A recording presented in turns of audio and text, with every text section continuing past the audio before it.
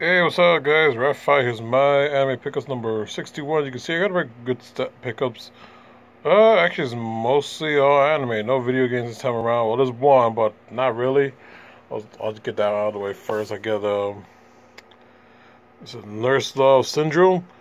It's just a box. Uh, someone was just saying just a box online, and like, all right, cool. It was pretty cheap, so I picked it up. So eventually, I'll get the game to complete it. Uh, one of the biggest thing I got was, of course, you can see the Samurai Jack, the complete series Blu-ray set. It went on sale on both Amazon Walmart. It was sold out on Amazon first, so luckily I was able to get it at Walmart. It was kind of a ordeal. First, it was ready. Then the guy, when I went to pick it up, the guy told me it was canceled. Like, what the heck? Call customer service. Told me no, it was right there. Went over there. Gotta go hoops through hoops, whatever. And eventually I got it because apparently the guy, yeah, whoever told me it was canceled messed up. So definitely happy to have that in the collection finally. My brother got our Kickstarter Gunsmith Cat on Blu-ray, so can't wait to check that out. Finally, pick out the I picked up the essential version of Guilty Crown. Always want to check the show out. Finally got Gal Ray Galray Galray Zero, pretty cool. This fight dropped enough where I could finally pick it up. Digimon Tri the movie collection, pretty cool, pretty cool. This was pretty cheap too. I found uh, the Ancient Magus Bride Part Two, so now I got that.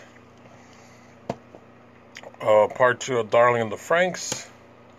Now the DVDs I've picked up for pretty cheap for five bucks. Uh, Gundam Gundam Wing Endless Waltz, the movie.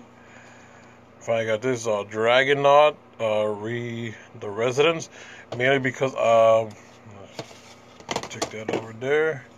Mainly because this came with signatures on, so pretty cool, pretty cool. Finally picked up Ouran Host Club again because I, I like the I rather get the standard DVD version and that digipack kind of thing. So pretty cool to have the standard. And last but not least, something from my childhood, uh, Scooby Doo and the Thirteen Ghosts, the original movie, because I love Scooby Doo and the Curse of the Thirteen Ghosts. So finally give like a finally proper ending to the show. So pretty cool. Well, I hope you guys enjoyed my anime pickups number 61. This is Rap5. We're going to hit you to go go. Goodbye.